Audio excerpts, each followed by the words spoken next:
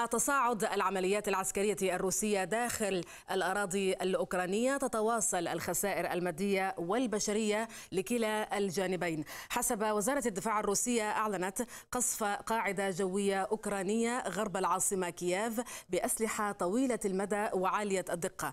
وأكد الجيش الروسي تدمير منظومة إس 300 المضادة للطائرات في أوكرانيا. كما تمكنت أيضا القوات الروسية من ضرب 61 منشأة عسكرية أوكرانية خلال الليلة الماضية. وأعلنت القوات الروسية تدمير ما يفوق ال 2200 منشأة عسكرية لأوكرانيا منذ بدء العملية العسكرية الروسية.